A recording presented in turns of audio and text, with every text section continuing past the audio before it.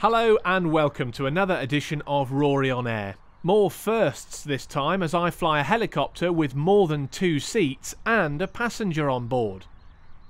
This is one of Helicentre Aviation's R44s.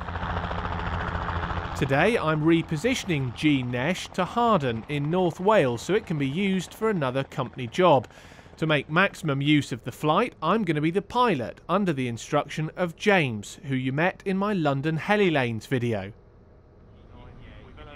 I've never flown an R44 before, so there are several things for me to get my head around which we'll discuss during the video. One of the unfamiliar elements of this machine is the addition of hydraulic assistance with the collective and cyclic controls. And then, yeah, hydraulics check. We're Yep. just going to do a little cross with the cyclics. Yep. Now turn the hydraulics off. Uh, so, yeah. Yeah, and now try that again. So it should be left and right should be easy, but forwards and backwards will be horrible. Oh, yeah, man, you can feel the, Yeah. the stiff, yeah.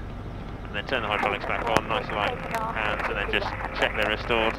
Once we've completed the checklist, we'll lift from the pad here at Leicester, depart the zone to the south, and then route direct towards Hawarden. Fellow student commercial pilot Sam will enjoy the view from the back seat, and as this is my first time in a 44, James will do the takeoff and departure before handing over the flight controls to me. Fuel check, we are full, and carb heat is not applicable. Cool. Checklist complete. That's the traffic, Heli Centre 29 lifting and taxiing to the H. Good stuff. So, I have control, follow You've me got through. control following you through. We're all clear. So we're going to look ahead, coordinating left pedal this time. Yeah. A little bit of left cyclic. Getting it light on the skids. That's traffic, Golf Bravo, Kilo Golf Westgate to the Zipper runway 15. Tails clear on the left.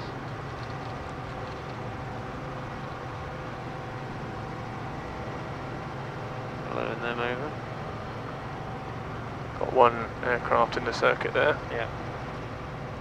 If you aren't already a subscriber to my channel, I hope you'll consider hitting the button and please keep your comments coming as well as I read them all and I really appreciate your encouragement. A little bit windier than I uh, expected. Yep. Yeah. Oh, hey, it's just fun, isn't it? okay. Heli 29 taking off uh, to the to the south.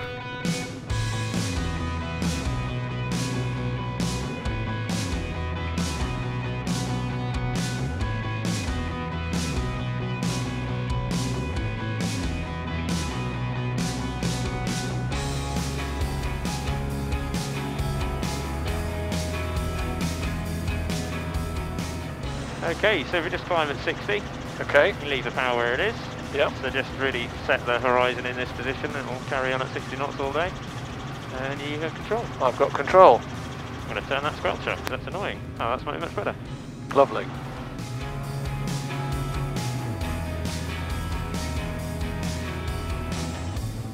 A little bit of lower level stuff around and um, Yeah. didn't concern us too much. Wow, it's light. Yeah. That's amazing. yeah. So think, think fingertips. Yeah.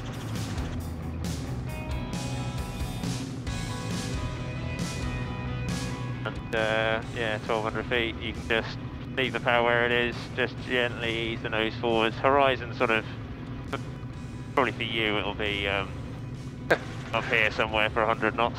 Okay. A little bit low and a little bit slow. So you can try a little more power, so 21 inches might work nicely. Looking a bit clearer here, I reckon you could get a decent climb on just above the, layer, the lower layer of sort of Yeah. Cloud. So just ease it back. Yeah, ease it back to 80 knots. That- That'll JCB3 is the basic service. give you a really nice Uh, JCB3, uh, we're just about to commence our let down to Churchport. Uh, we're on the ground for about five minutes before returning to factory at Rocester. JCB3 surface wind Eastman is 180 degrees 14 knots. Uh, JCB3, roger. East Midlands radar, good morning. Heli Centre 29, request basic service. Uh, Centre 29 Eastman, squawk is uh, 4571, parts details. Squawk 4571, Heli Centre 29 is a Robinson R44 from Leicester to Hawarden, currently two miles southwest of the Leicester zone, climbing to altitude 2,000 feet on uh, 1016 and 3POB uh, routing direct to Hawarden. Uh, request basic service. If it starts to thicken up again, we'll have to... Descent to 29, squawk 4571, basic service on the QNH 1017. Squawk 4571, basic service, QNH 1017, heli centre 29. I think we'll have to descend again looking at that. Yeah. Does look a bit of a bank, doesn't it? Right then, Rory, let's try and nail 1300 at 100 knots.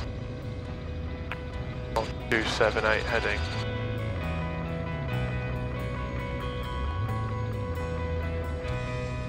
It is incredibly light. Yes, it is. You got to be careful with it in that sense, but once you get used to it, it's very, uh, very easy. Very nice. It feels like you sort of think about going somewhere and it just does it. Yeah. The pedals feel slightly heavier. Well, the pedals aren't hydraulically assisted. Right. It's just a collective and uh, cyclic.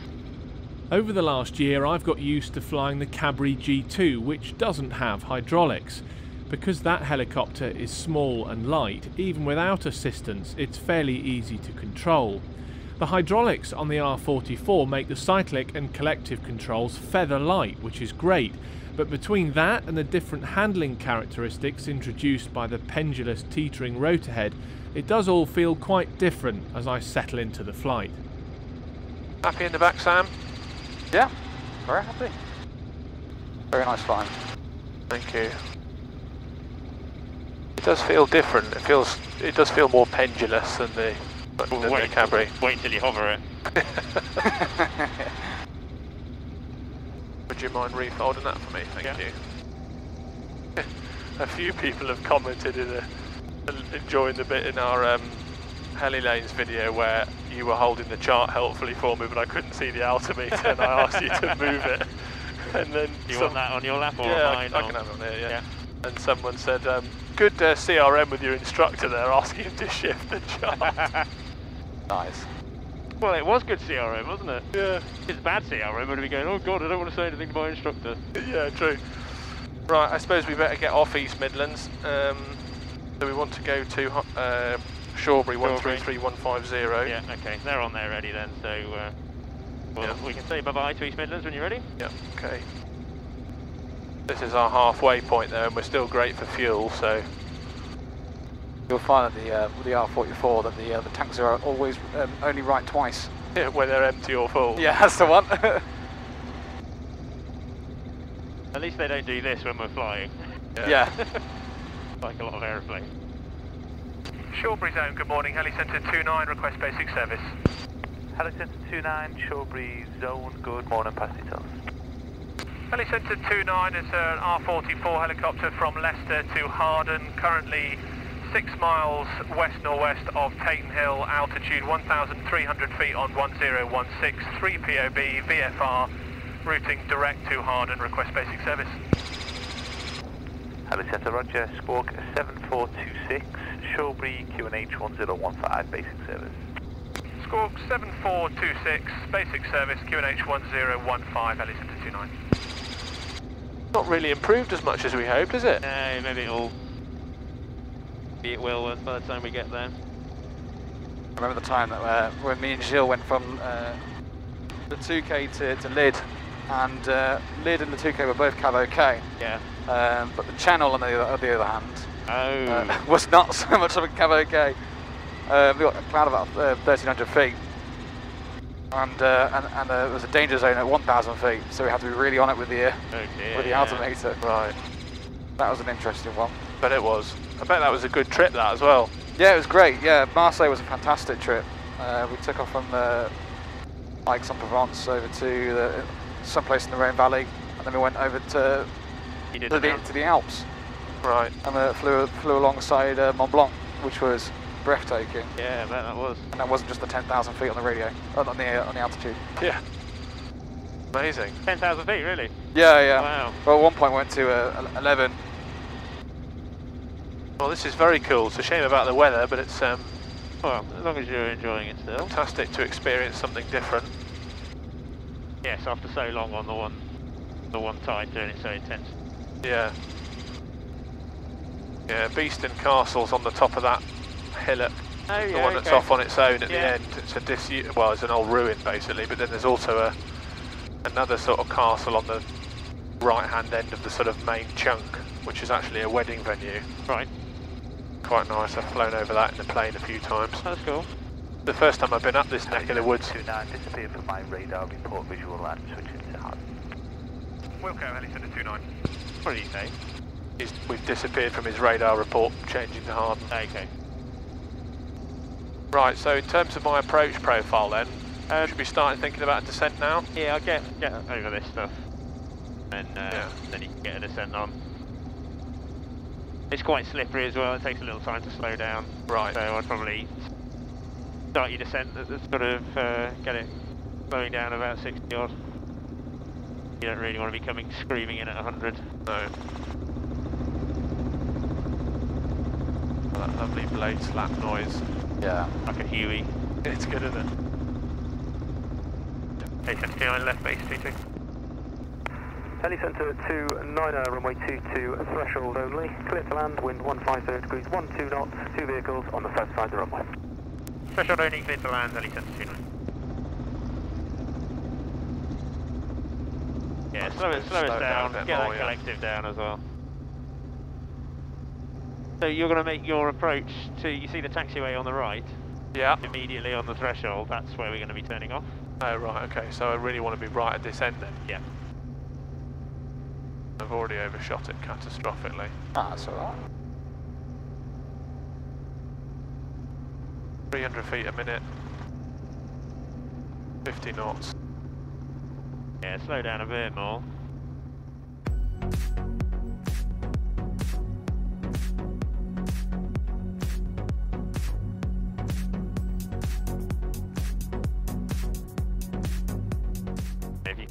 Bit onto the runway now.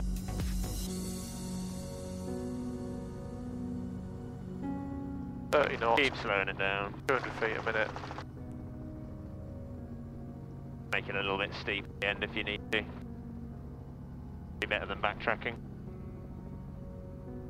Maybe the left pedal as you start to lose translational lift. Yeah.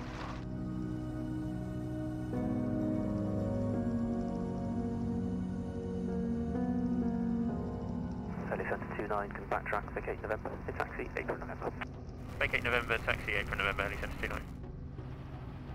That's the one immediately on your right. Yep. So you'll be having a bit of a tailwind, so be ready with the No, left no pedal. restriction on the runway. Oh. Alright, well done. Five control. You've and got control. Bloody hell, that's Certainly very back down difficult.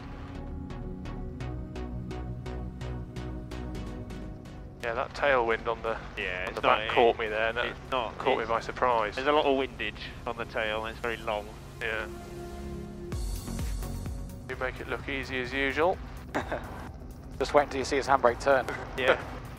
Due to the fact we'll be taking this corner into a headwind, James gets the chance to channel his inner Lewis Hamilton and demonstrate a nice dynamic right turn.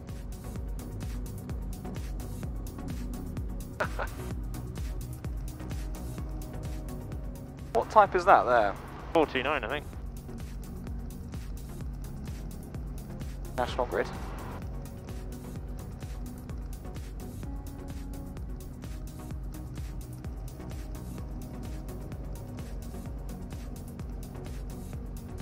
Our main man. Yes, indeed.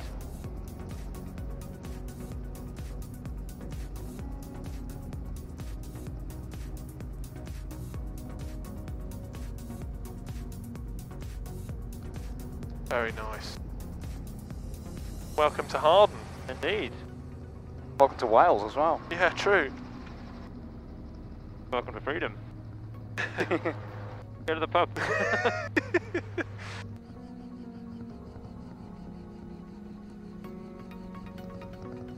James and Sam will now take the aircraft for a short job in the local area, which gives me a chance to have a look round here at Hawarden.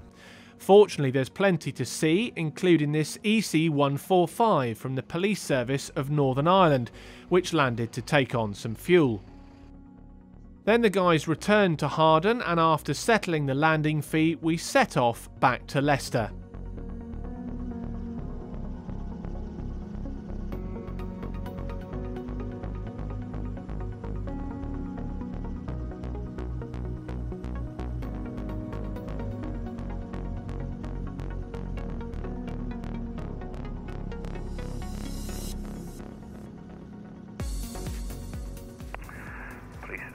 142. Traffic on the climb out this time following a similar departure profile to you is a Robinson R44 helicopter. Surface wind 180 degrees 11 knots, parallel to runway 22. From the H, clear for takeoff. Visual traffic, parallel to clear takeoff, please. 442. Excellent. Do not contact Hawarden radar 120 decimal 055. Go. Two hard radar 120 decimal 0755, many thanks. Helicentre 29. No frequency switch, Yeah, you have to press the button on that one. because it's the bottom box. Yeah.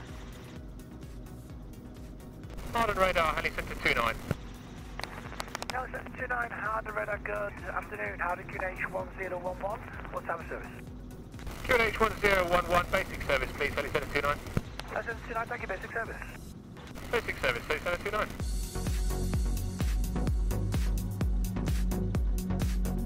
I've really enjoyed flying the 44 and intend to do a full type conversion course next year. Please consider subscribing to my channel and thank you for watching. Cheerio!